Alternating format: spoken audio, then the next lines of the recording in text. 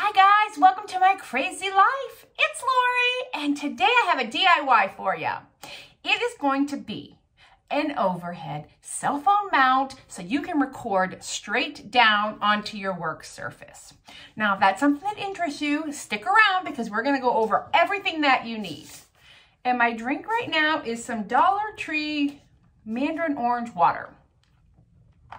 It's not Dollar Tree brand, I can't remember the brand. Anyway, so right now we're gonna go over the list of supplies and then I'm gonna show you how easy this is to put together. Okay, and I have my little list here written down, but it will also be in the drop-down menu below and all the cut sizes. So you're gonna need one 10 foot PVC pipe, half inch. Just a standard, I used white. I feel like they had them in black, but they were like way more expensive. Do not ask me what the difference is, I have no idea. I just know I needed a 10 foot PVC pipe. So I got it. Oh, and before we get moving too far, I just want to be very clear. This is not my unique idea. I did not create this. I did not come up with all this. I found several posts on Pinterest and a video on YouTube and thought I would show you how easy it is to make. But this is not my unique idea. Okay, so one 10 foot pole, we're gonna cut down to sizes. You're going to need two T's, half inch. Everything is half inch non-threaded. So there's no threads in here. It's all smooth because it's going to slide on and off. So you need two of those, two, three. Three of these, I lied. You'll need three of the T's. You'll need three of the elbows. Um, I think I lied again. You'll need, I don't know. You'll need three elbows. I'm a mess, guys. Three T's and three elbows. Yes, two or three. We'll see when we put it together. But I know you need three elbows. Half inch, non-threaded. Two caps, and this is simply what it is. It's just a cap. It'll slide on the end. It's just for aesthetics. You don't have to have them. But all of this costs less than $10. You will need a drill or some way to drill a hole in your T-pipe you will need a cell phone mount of some variety.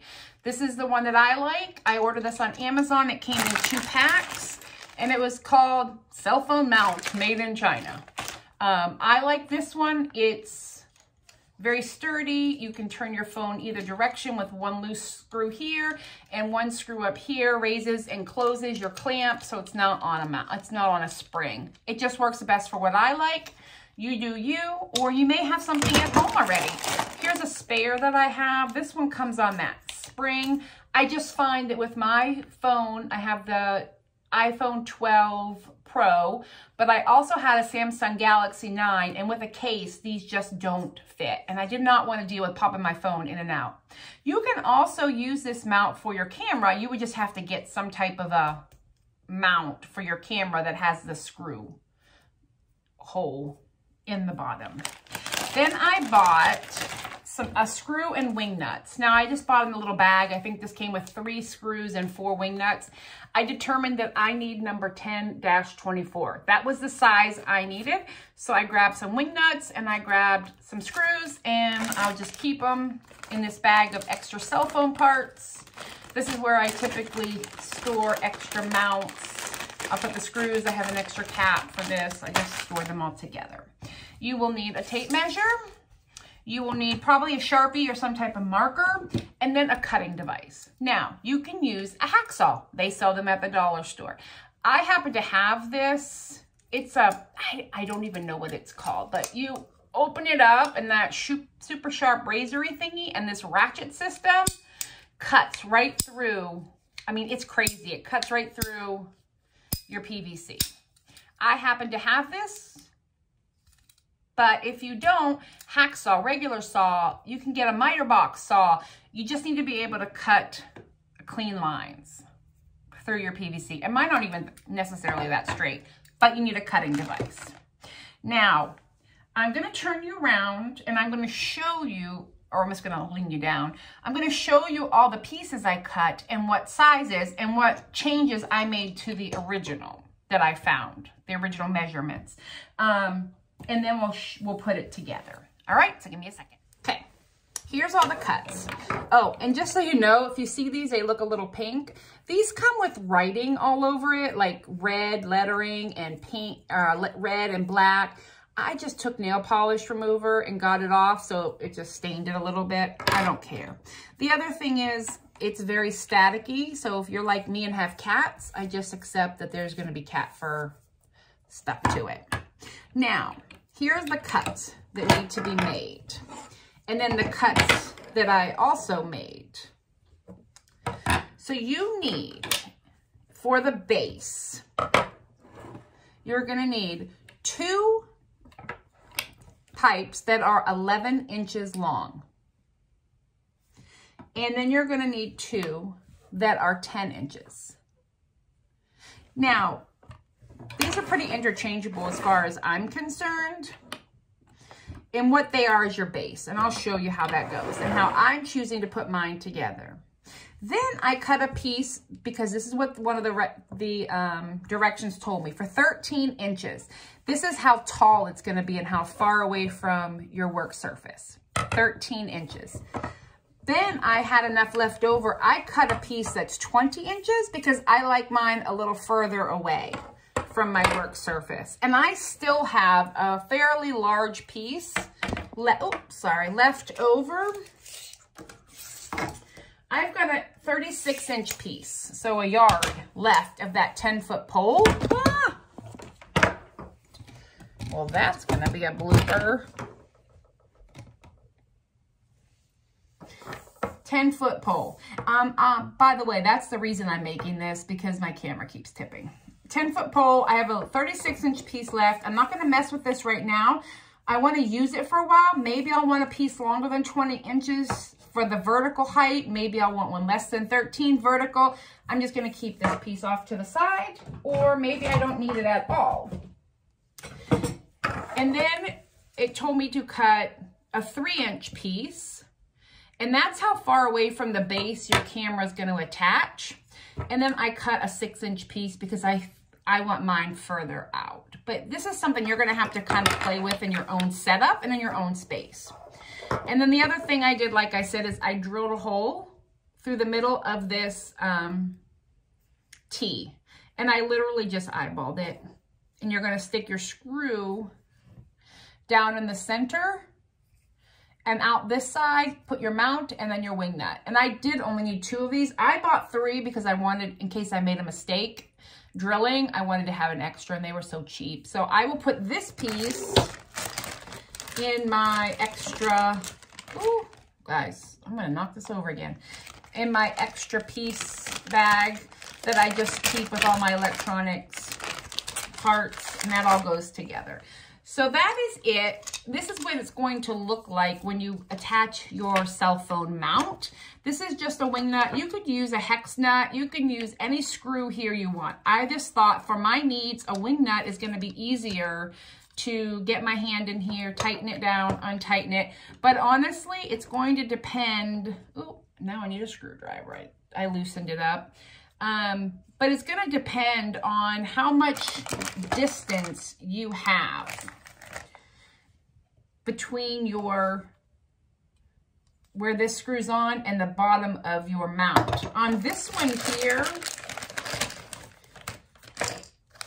you don't have any distance. That screw is going to sit right up against your phone. So in this situation, what I would do is get a, a hex nut because you're going to need to put your screw through that hole here, this through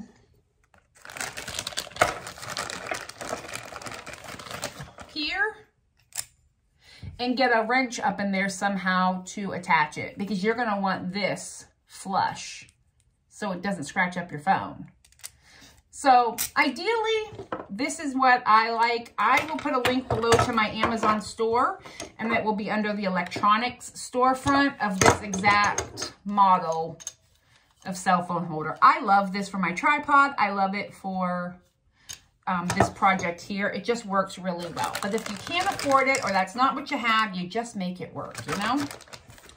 And I'm also keeping this bag so I know personally what size screws I need if I want to make another one of these. That's just me though. Now, we're going to put it together. I'm gonna change our direction again and I'm gonna show you how this goes together in like two seconds. All right, everybody has been cut, like I said. These are all of our pieces. Now, we're gonna start here. Get that out of the way. Get this out of the way. We're gonna start here with our 10 inch and 11 inch pieces. So if you want, you can do the 10 inches here.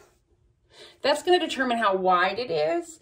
And 11 inches here will tell you how much space you have. I'm going the other direction because I, I just want a little more vertical width. So you take the T that you did not cut. And you see here, let me just make sure I've got the right sizes. Yep, the 11 inches and I just connected them together. You just push them. When you want it out, it's a little tough, but it comes apart. Now, if you want to make this permanent, you could glue these in. I don't want to because I don't think that's going to be necessity, but you can use E6000 or get pipe glue and glue them together. So that's our middle piece right there. Now, let me move my laptop real quick. We have two elbows right? So one elbow is going to go here on that side and here on this side. Now, another question I fear I feel coming. Can I paint this? I have no idea if you can paint PVC, just so you know. So right now I have my base. I'm 11 inches wide here. So I'm going to take my two 10 inch pieces and I'm going to go here, right? And one cap goes on the end. And what that does is it makes this even. If you don't have the cap, it's going to tilt forward. I mean, you can make it work, but I would just say get the caps. But that's what it looks like on this side. Then we're going to come over here and take this 10 inch piece and stick it in that hole, right? And put our cap here. So, get me out of the way. Now you'll, you know, you gotta kind of push your things because everything is a little squishy. Like right now it's not perfectly flat, but I'm not too concerned just yet. Now for the, for the arm, I either have my 13 inch height or my 20 inch. I'm going to put the 13 on just to show you because I think it'll be easier to record, but that's probably not what I'm going to use. So you put that up here. right? Now, we have one more elbow. The elbow goes here. Now, how far out do I want my camera? I'm going to go with what the what the um, directions originally said. Put my three inch there. And then look, I have my mount with my phone on it. With my phone mount. Right there. And guys, that's it. It's put together. I'll show you completely what it looks like. And here we go, guys. This is it, the finished product. My cell phone will sit right in here, being supported by that. It's pretty good. Here's our legs. They can go wider or shorter. Like what I said, this can be totally customizable. And this here is going to support it so it doesn't tip forward on you. I know, isn't that crazy? And that's it. Less than $10, cut a few cuts of PVC and five minutes to put together.